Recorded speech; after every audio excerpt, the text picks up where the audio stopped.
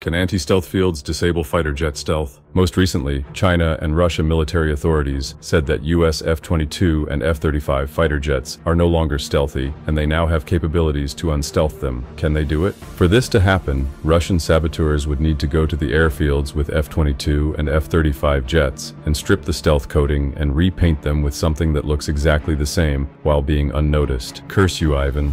As far as Russian capabilities go, I am not too sure that they can pull this off. Stealth isn't some Star Trek MacGuffin that can just be disabled with anti-stealth fields. The F-22 and F-35 jets are shaped, coated, and made with materials that are less reflective, so less visible to radars. New fighter jets reflect less radar energy back at an emitter. Radars literally have less signal coming back. It doesn't matter how powerful you make the radar. There's very little you can do about the fact that these planes that are simply less reflective is like saying that the Russians claim to to have invented better body armor and therefore rifles no longer shoot bullets.